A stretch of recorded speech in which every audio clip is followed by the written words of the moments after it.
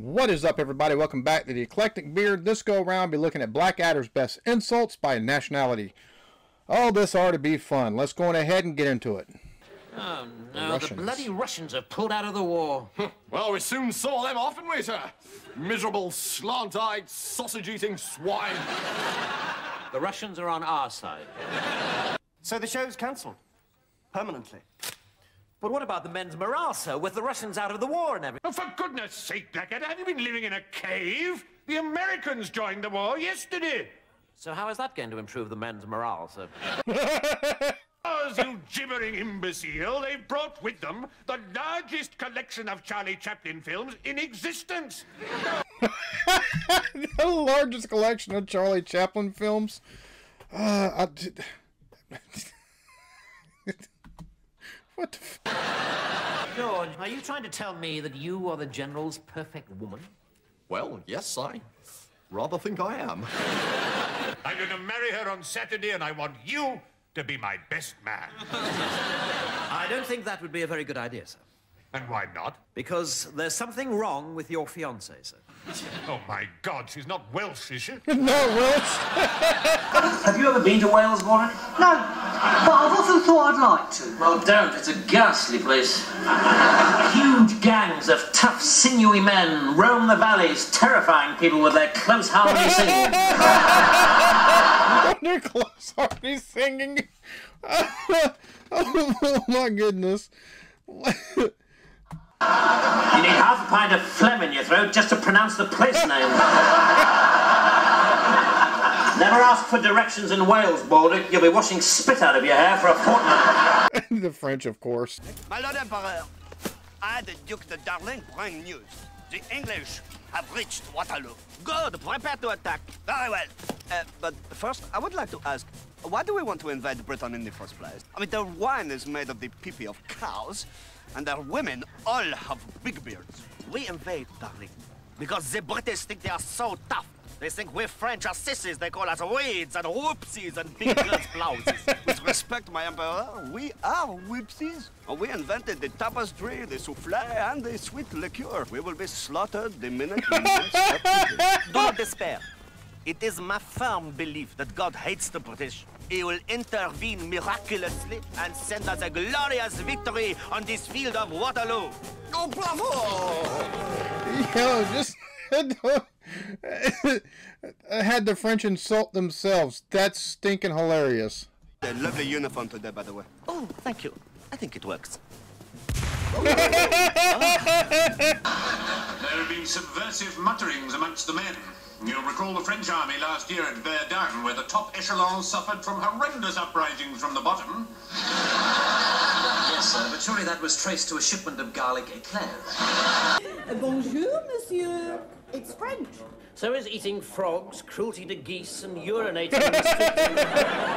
but that's no reason to inflict it on the rest of us. I'll have a cup of coffee and some shepherd's pie, please. Oh, We don't serve pies anymore. My French clientele consider pies uncouth. Now, how do they think that a nation that eats snails and would go to bed with the kitchen sink if it put on a tutu is in any position to preach cuteness? If you would excuse me. Dude, just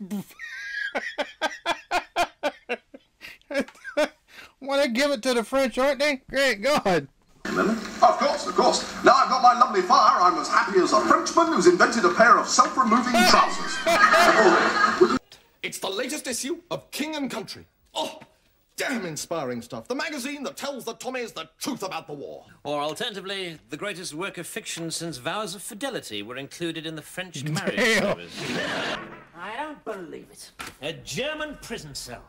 For two and a half years, the Western Front has been as likely to move as a Frenchman who lives next door to a brothel. and last night, the Germans advance a mile and we land on the wrong side. Me old mate, we're both working class. We both hate these rich bastards. I mean, come on. Come on, me old mucker. Just, ju- just let me go. You've got nothing against me. On the contrary, I hate you English with your boring trousers, your shiny toilet paper, your ridiculous preconceptions that Frenchmen are great lovers. I'm French, and I'm hung like a baby cat.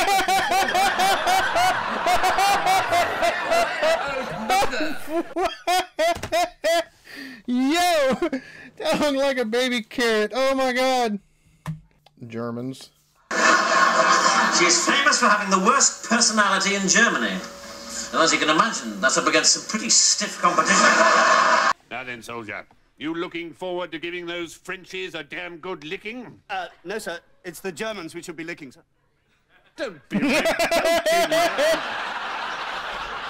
I wouldn't lick a German if he was glazed in honey.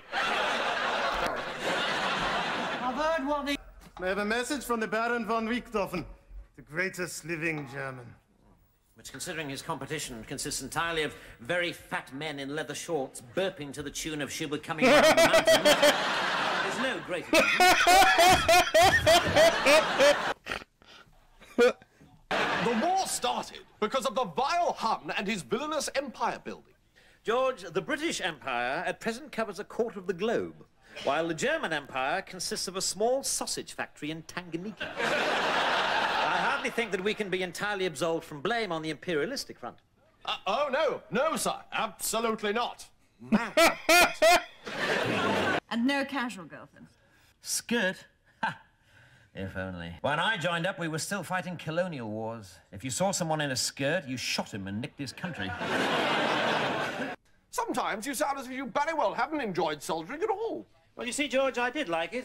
Back in the old days, when the prerequisite of a British campaign was that the enemy should, under no circumstances, carry guns. Even spears made us think twice. The kind of people we like to fight were two feet tall and armed with dry grass.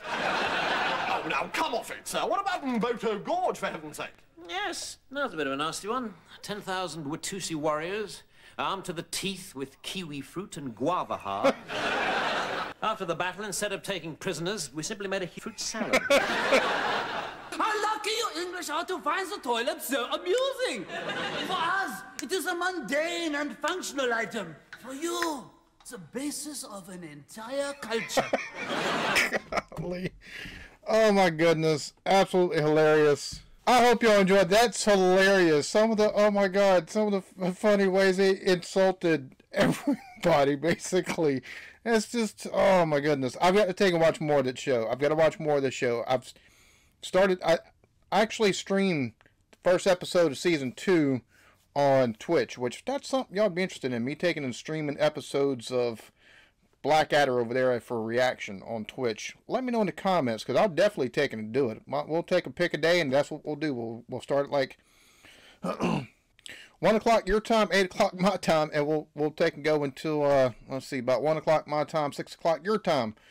Uh, just looking straight at Blackadder. So yeah, um, hope y'all enjoyed that. I know I did. I, dude, some of this stuff just tickles me so much with the way they take and bring stuff across. It's too funny. Y'all be good to each other. Love yourselves. Peace.